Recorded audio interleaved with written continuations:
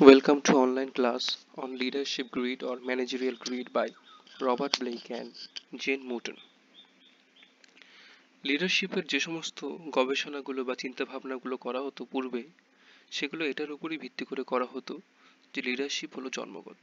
অর্থাৎ একজন নেতার সন্তানই কিন্তু পরবর্তীকালে নেতা হতে পারে। এটা ভেবেই কিন্তু আগে লিডারশিপের ধারণাগুলো, বিভিন্ন কনসেপ্টগুলোকে ভাবা হতো। কিন্তু পরবর্তীকালে লিডারশিপের কনসেপ্ট কিন্তু চেঞ্জ হতে শুরু করল। কীরকম? যে যে কেউ লিডার হতে পারে। এটা not necessary that you have to be born of a leader anybody can become a leader কিন্তু এই নিয়ে আস্তে আস্তে কনসেপ্টটা চেঞ্জ হতে শুরু করল এবং এই নিয়ে বিভিন্ন গবেষণার সৃষ্টি হলো।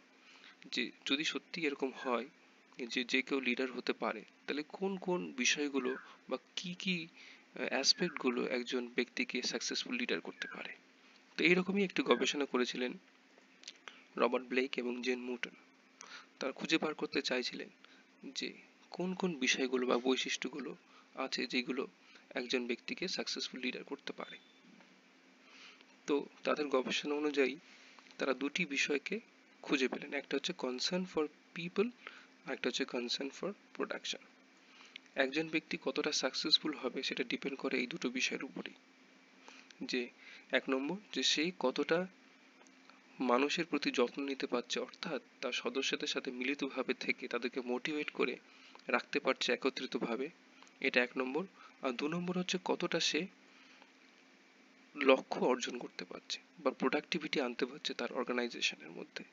এই দুটো হচ্ছে খুবই ইম্পর্টেন্ট বিষয় যার উপর ডিপেন্ড করে একজন ব্যক্তি কতটা সাকসেসফুল হতে পারে। এবং এই দুটোকেই তিনি একটি গ্রাফের মাধ্যমে দেখিয়েছিলেন।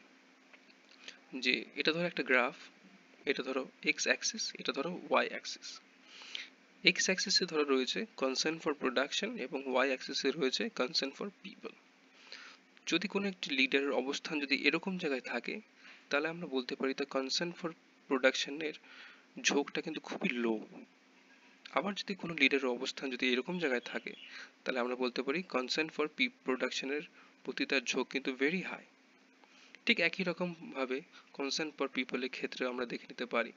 যদি কোনো একজন লিডারের অবস্থান এরকম জায়গায় থাকে, তাহলে আমরা বলতে পারি তার কনসার্ন ফর পিপলের ঝোঁক কিন্তু খুবই কম। কোন একজন লিডারের যদি অবস্থান যদি এরকম জায়গায় যদি থাকে, তাহলে আমরা বলতে পারি যে কনসার্ন ফর পিপল বা লোকদের প্রতি মোটিভেট করা বা তাদের সাথে একত্রিত থেকে কাজ করার মনোভাব কিন্তু তাদের, তার মধ্যে বেশি। তো এই ভাবে একটা গ্রাফের মাধ্যমে তারা পাঁচ রকমের লিডারশিপের কথা বলেন। আমরা এখানে পাঁচটা গ্রাফিক্যাল পয়েন্টস আমরা দেখতে পাচ্ছি। এই পাঁচটা পয়েন্টের কথা তারা এক এক করে বলেছেন। সেগুলোই আমরা বিস্তারিতভাবে আলোচনা করব। তো প্রথম পয়েন্টে দেখো one point one impoverished management তো গ্রাফে আমরা দেখতে পারি ওয়ান পয়েন্ট ওয়ানটা এখানে। তো দেখেই আমরা বুঝতে পারছি যে এই রকম ধরনের নেতার মধ্যে কনসার্ন ফর প্রোডাকশনের ঝোঁকটাও কিন্তু খুবই কম এবং কনসার্ন ফর পিপলও কিন্তু ঝোঁকটা খুবই কম। অর্থাৎ সেই ধরনের নেতার মধ্যে কিন্তু লক্ষ্য অর্জন করার তাগিদও কিন্তু খুবই কম এবং লোকদের সাথে মেলামেশা করা বা তাদেরকে মোটিভেট করে, একত্রিত করে কোনো লক্ষ্য অর্জন করবে, তারও কিন্তু ঝোঁক কিন্তু খুবই কম। তাই জন্য তাকে বলা হচ্ছে ইম্পোভারিস্ট ম্যানেজমেন্ট ইম্পোভারিস্ট লিডার এটি একটি ইনএফেক্টিভ বা এটা সেরকম কার্যকরী লিডারশিপ স্টাইল নয়।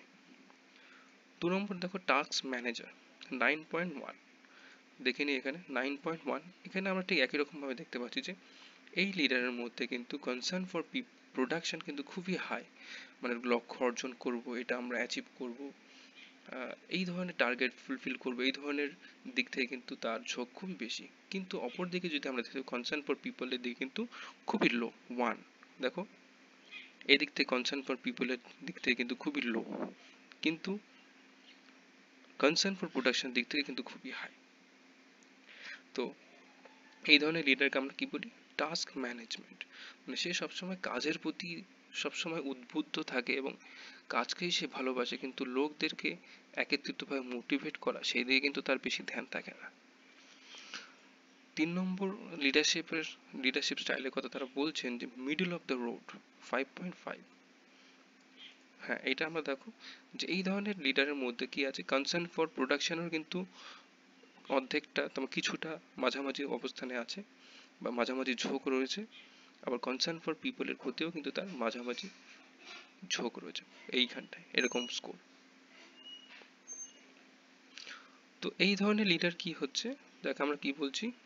মিডল অফ দ্য রোড মানে এই ধরনের লিডার তিনি গোল অর্জন করার জন্য তার মোটামুটি তিনি সাকসেসফুল হন বা কি বলব? গোল অর্জন করার জন্য তার ফুল এনার্জিটা তিনি দেন না। তিনি তার অর্ধেক এনার্জি দেন এবং লোকদের সাথেও কীভাবে মেনটেন করবে লোকদেরকে সেদিক থেকেও কিন্তু তিনি পুরোপুরি তার হান্ড্রেড পার্সেন্ট তিনি দেন না। তো এইরকম ধরনের লিডারশিপকে আমরা বলি মিডল অফ দ্য রোড তিন নম্বর দেখো country club one point nine one point nine one point nine তো এখানে দেখো কনসার্ন ফর পিপল এটা কিন্তু খুবই হাই আবার কনসার্ন ফর প্রোডাকশনের দিক থেকে কিন্তু লো লোয়ে রয়েছে। তার মানে লোকদের প্রতি মেলামেশা করার বা তাদের সাথে তাদেরকে মোটিভেট করা, তাদেরকে স্বপ্ন দেখানো, তাদেরকে তাদের মধ্যে ইন্টারেস্ট দেওয়া, সেই দিক থেকে কিন্তু তিনি খুবই এগিয়ে। কিন্তু লক্ষ্য অর্জন করার দিক থেকে কিন্তু তিনি কিন্তু পিছিয়ে রয়েছে। এই ধরনের লিডারশিপকে আমরা কি বলছি? কান্ট্রি ক্লাব লিডারশিপ বলা হচ্ছে।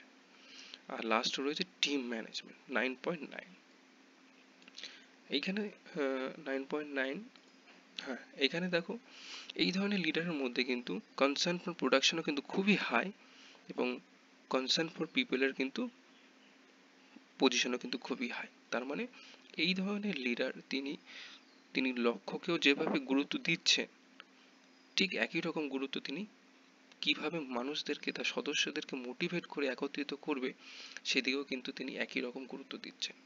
অর্থাৎ তার তার তার লিডারশিপের মধ্যে গোলও যেরকম অ্যাচিভ হচ্ছে, আবার সঙ্গে সঙ্গে সদস্যদের মধ্যেও কিন্তু একটা খুশি ভাব থাকছে এবং তারা একত্রিতভাবে মোটিভেটেড হয়ে ইন্টারেস্টেড হয়ে কাজটা করতে পারছে। তো এইরকমভাবে ব্লেক এবং মুটন পাঁচ রকমের লিডারশিপের কথা তারা বলেছেন এবং তারা এই এই ছকের মাধ্যমে বা এই গ্রাফের মাধ্যমে দেখিয়েছেন বলে এটাকে বলা হয় গ্রেট থিওরি তো এইগুলোকে আস্তে আস্তে তোমাদেরকে এক এক করে বর্ণনা করতে হবে এবং এর অ্যাডভান্টেজ ডিসঅ্যাডভান্টেজ এগুলো তোমাকে বার করতে হবে। এবং আরেকটা কথা বলে রাখি যে এই টিম ম্যানেজমেন্ট এটা হচ্ছে সব থেকে ইফেক্টিভ স্টাইল বলতে পারো বা ইফেক্টিভ লিডারশিপ স্টাইল বলতে পারো। তো এইভাবে তোমাদেরকে ব্যাখ্যা করতে হবে অ্যাডভান্টেজ এবং ডিসঅ্যাডভান্টেজগুলো তোমাদেরকে নিজেরা তোমরা ব্যাখ্যা করবে এবং এই সম্পর্কে আরও ম্যাটেরিয়াল দিয়ে রাখব, সেগুলো পড়বে, পড়ে তোমাদের ডিসকাশন তোমাদের রিফ্লেকশনসগুলো তোমরা দেবে।